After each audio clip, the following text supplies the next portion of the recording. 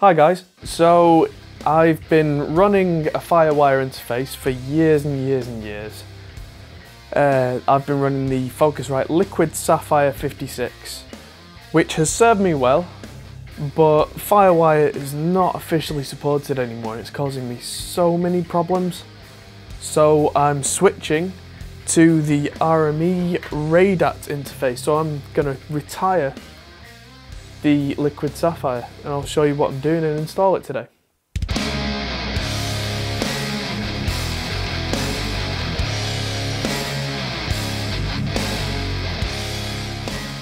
So when I got the Liquid Saffire 56, um, it was a great unit. This was five years ago, 2011 or so, um, give or take.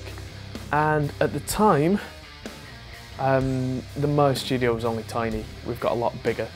But we got the Liquid Saffire 56 because it was an 8 channel in, 8 channel out interface, but it also had two ADAT ports in and two ADAT ports out. So it was another 16 channels in, another 16 channels out. So that's 24 in, 24 out. That's more, more than a lot of people need. I mean, you can record a full drum kit and a full band and maybe have a couple of channels left over.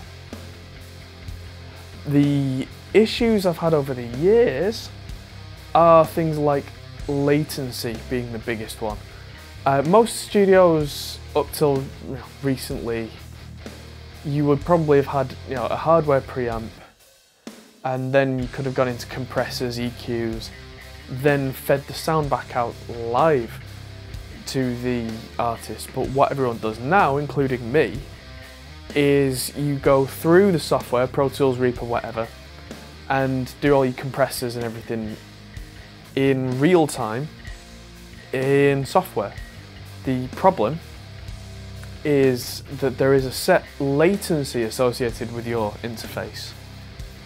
And it takes a few milliseconds to get the sound into analog, convert it to digital, get that to the processor get the, the audio processed as you've set things up, then get it sent back to the interface, then have it converted to analog again before being shoved out to the headphones or monitor speakers.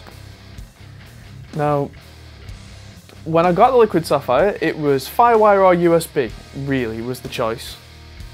And USB pretty much sucks for audio because the way that USB works is that what's called a packet system. That it takes a big bunch of data, stores it up, then sends it as a big chunk, which is fine for hard drives, it's fine for mice, keyboards, whatever. But for audio, this is a big problem because it's waiting while it stores up some information before it gets sent. So the other option with Firewire is it was a much more consistent bit of data, bit of data, bit of data, bit of data, go, go, go, go.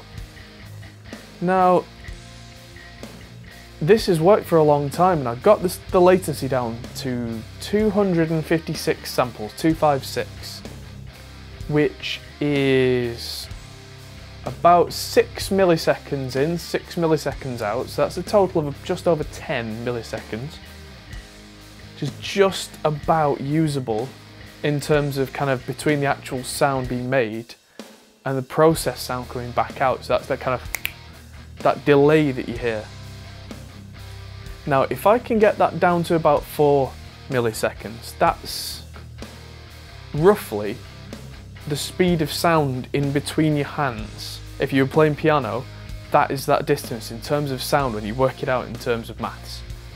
Which means if you can get it down that low, your brain can naturally cope because it's used to that kind of timing difference. We, we, we live in a world of physics and our brains adjust. We think we're hearing things instantly, but we're not. We're actually hearing things a few milliseconds after they happen most of the time. And if it's too many milliseconds, the brain cannot deal with that. Now, the Firewire interface that I have has been great but recently I've started to have some issues um, because Firewire, like USB, does store up some information before it gets sent over to the computer and then processed. It's a lot less than USB, but it's still a significant chunk. If I'm going through seven or eight plugins in a row, the processor does not have time to go through all of that before it can be uh, waiting for the queue to send it all back out. This is why if, you, if ever you played with latency on an audio interface, you'll find that you get these pops and crackles if it's really short. And then if it's long, it doesn't do that, but you get that horrible kind of delay and bleh, throws you, throws you out. Uh, so what I'm doing is I'm not going to be using Firewire anymore, that's going. And I'm going to use the RME RayDAT. So this is a PCIe card, so this is going to go straight into the computer. And this is the equivalent of going taking the audio straight into the veins of the motherboard. So this is going to cut out USB, cut out Firewire, and literally just go straight through this socket here, straight to the processor. Bang, instant. So what does this do and what doesn't it do? What this does is it's 32 channels in, 32 channels out of digital audio. Pretty much instantly. What it does not do is take analog sound and turn it into digital, and that's what I need the converters for, and that's why I've got a Focusrite OctoPre Mark II. Um, I have an Alesis AI3 which I think I'm going to start using again and I'm going to repurpose the Liquid Saffire to do exactly this. So it's not going to be a Firewire interface anymore, I'm not going to use the Firewire at all. I've reprogrammed it so that the analog mic preamps come straight in, get converted to digital, and then instead of going through the whole Firewire circuit and taking forever, they then go straight out of the ADAT port on the back and straight into this. And that's it, done, instantly at the speed of light because uh, ADAT is light pipe, it's optical, it uses light, which means it's instant. And as good as the Firewire interface has been, this should, in theory, cut down on any kind of issues and take the bottleneck out of the situation.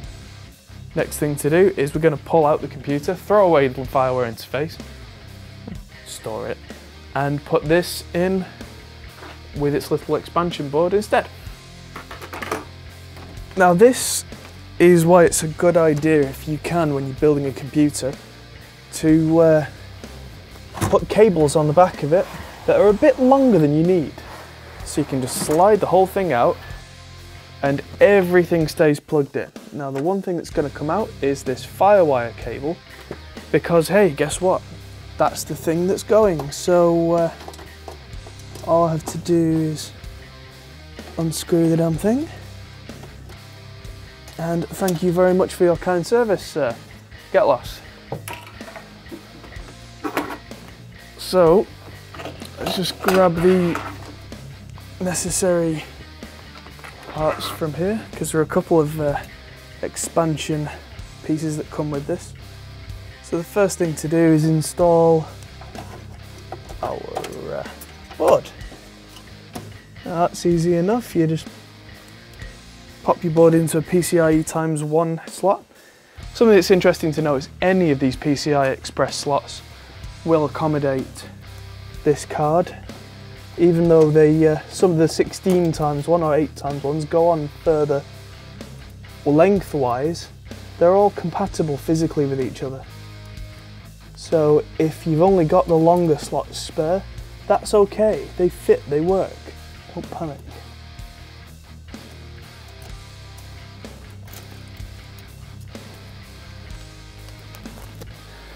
Yeah, man. I may need a slightly thicker uh, screw bit for this. Use my uh, trusty multi-bit magical screwdriver.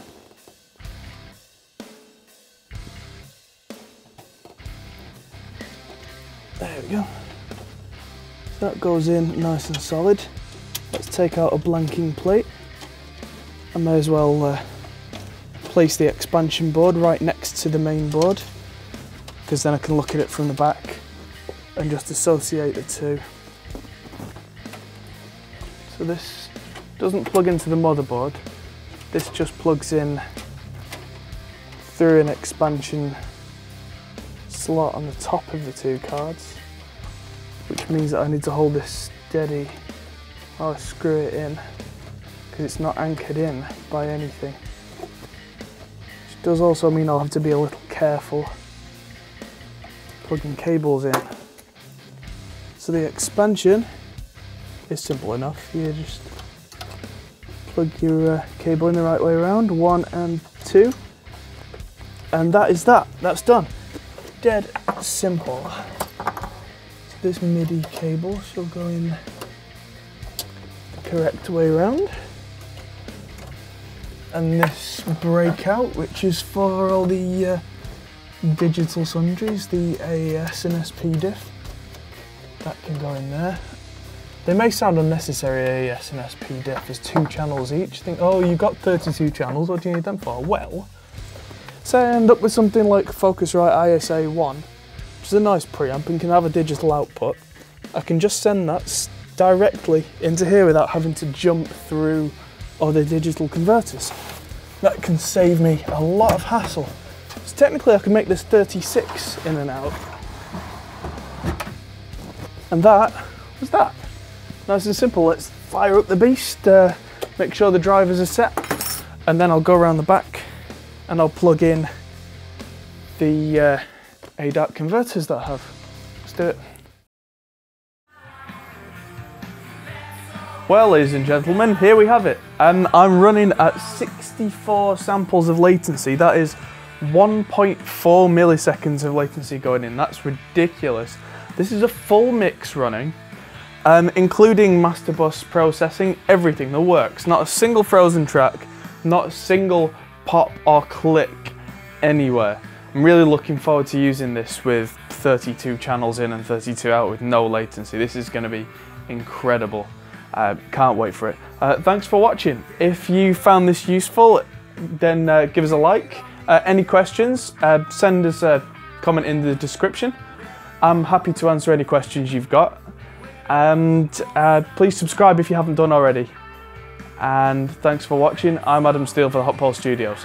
See you soon.